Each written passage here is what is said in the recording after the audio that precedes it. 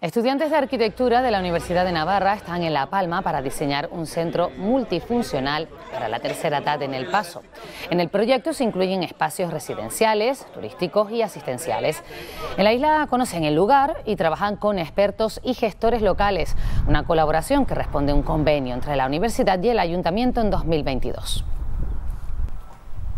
todo lo que tiene que ver con, eh, eh, vivir eh, los últimos años de vida, bien en comunidad o bien asistencialmente.